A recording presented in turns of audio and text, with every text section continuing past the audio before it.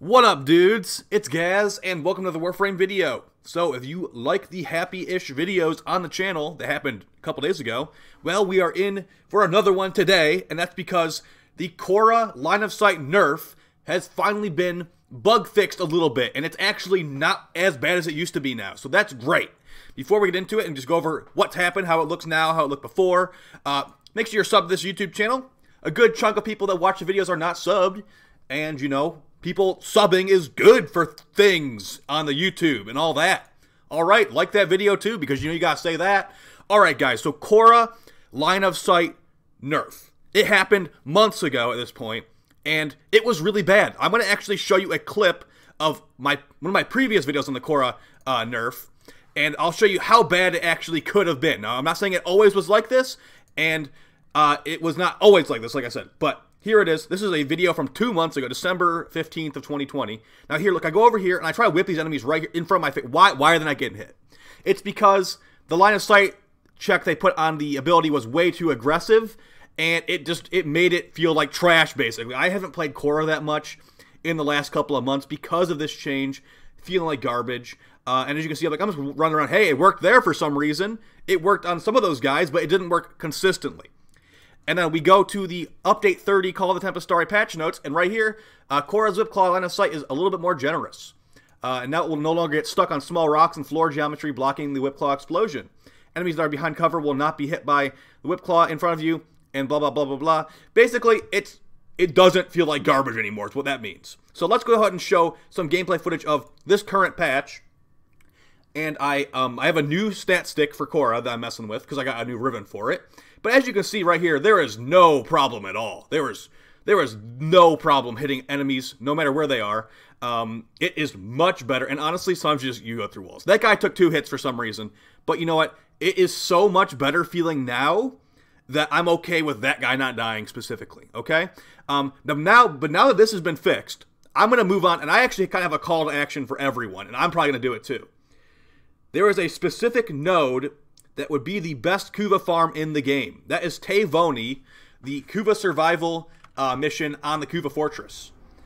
For some reason, I'm not going to try to make a speculation uh, theory here or anything like that, but bear with me. For some reason, the Acolytes, the only enemies that drop Steel Essence now, bug out on this node specifically. And my my uh, prediction on why it's bugging out is because of the um, you transforming a Kuva tower or transforming a life support tower into a Kuva tower might block their spawning for some reason. Um, but for some reason they don't spawn here. They will spawn. I, it, it's really inconsistent. Sometimes it will spawn zero. In this run right here, which I'm showing in the gameplay footage, it spawned two acolytes, and sometimes it will spawn like four or five because they're supposed to spawn every. I think it's like four to seven minutes. Every four to seven minutes in survival, if you're killing stuff, you should be guaranteed to spawn an Acolyte, which will drop you Steel Essence. Two without a booster, four with a booster, and I had a cat buff in here, so I got eight from an Acolyte kill.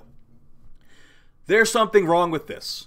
And this would be the best Kuva farm in the game if it was not bugged out. I know there's now there's another Kuva farm that involves Steel Essence, but it's very tedious. I don't even want to make a video on it because it's that tedious. I would not recommend it to people. But it involves not using the vacuum mod on your companion and basically just killing an acolyte, staying around the steel essence, not picking it up, and letting and waiting for a cat buff. Is that sound like a headache to you? Because it sounds like a headache to me. And yes, you could get lots and lots of steel essence from it, but man, it is just so inconvenient and annoying to play that way. I don't play the game that way, um, although it does technically work. Um, but yeah, I, what I think is we need to actually report this as a bug. Taveuni does not spawn acolytes consistently. Uh, they'll spawn sometimes, like you're seeing right here, an acolyte did spawn here, and they dropped the, the essence, and it was all fine and dandy. But after this, after the second acolyte, not this acolyte, after the second acolyte, they did not spawn any for the rest of the mission. I did about a 30 minute mission here, and it spawned two acolytes in 30 minutes. That's not how it's supposed to be at all. Um, so yeah, the Khora change is great. Um, I'm actually using a new stat stick here. I'm using the Amphis. Now I know a lot of people you were using the Amphis already. This thing technically has the highest Riven disposition stats in the entire game. Yes, it's actually higher than the Jaw Sword, and it doesn't really matter that the Jaw Sword has that uh, Syndicate Augment mod, as um, you can just use Spoiled Strike in that slot in the first place if you want to as well.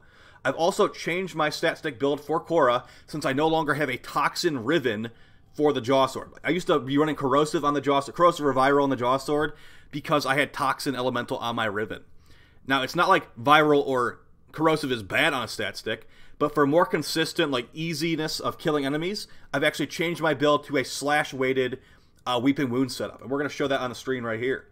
But as you can see in the background, like, I mean, Khora's, Khora's sitting pretty right now. Khora is pretty much whipping through walls at this point again, and it feels really good. It's basically like old Khora. Uh, now, I'm not to say it's entirely the same as old Khora, because it's not like, oh, just whipping through like a 20-foot wall. No. Um, it's actually, you can still whip through certain objects, but, you know, it it just, it's really nice. It's, it's, I'm happy about it. I hope you're happy about it. If, and, you know, I'm to probably use Khora some more. All right, so here's the uh, Amphis build. Now, keep in mind, like I said, I have a really good Riven now, um, and we're using uh, critical damage out the out the woozah, if that's even a word. Um, all right, we got Carnis Mandible to make it so the slash is weighted higher uh, because Khora's Whip Claw is actually, I think it's evenly weighted impact, puncture, slash. So if you run a slash mod like this or Buzzkill, it will actually make it so you're more likely to proc slash, especially with Weeping Wounds increasing your status chance. You'll be procking a bunch. So we got Carnis Mandible for slash increase, Prime Pressure Point for damage, Weeping Wounds for combo multiplier stuff, Blood Rusher combo multipliers. I had Prime Reach on here. Okay, well, don't run Prime Reach. In that slot, just run Spoiled Strike. Okay, I did that entire run with... with all right, all right. Well, moving on from that, Revelation, indeed. Um, don't run Prime on your stats there for core. I had Sacrificial Steel for red crits, Organ Shatter for crit damage, and then my Riven is crit damage and melee damage with minus attack speed. So, yeah, that's going to be basically uh, a really good situation for you. And it's just a good situation for core. Like, if they fix Taveuni, if they bug fix Taveuni, I, I, hope it's a bug, not intended, because this will be the best Kuva farm. Um, it already, I already made a video on this like months and months ago, but the, like I said, the problem is that the acolytes spawn inconsistently. If you, it could be great if you if you have like four acolytes in 20 minutes or whatever, but if you get zero acolytes in 20 minutes, you're probably better off just you know doing a normal survival because this is one of the only nodes in the game that uh, only survival nodes in the game that the acolytes consistently bug out on. I think Ophelia still doesn't spawn them, just but that might be like PTSD from uh, the uh, the Ophelia underground basement farm that was uh, going crazy a couple months ago. So here, here's the second acolyte. This is the last acolyte spawns in this mission.